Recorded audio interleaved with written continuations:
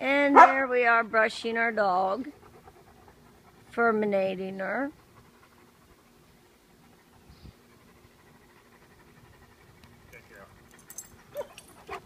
As you can see, there's a pile of hair. Now this is the easiest way to clean up dog hair.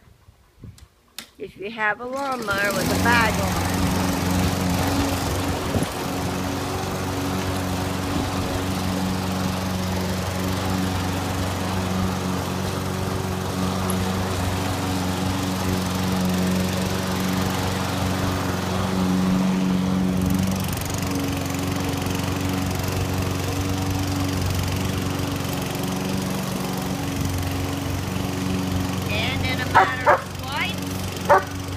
it's done. I got it. Shut up. I don't know how to set it off. You didn't tell me.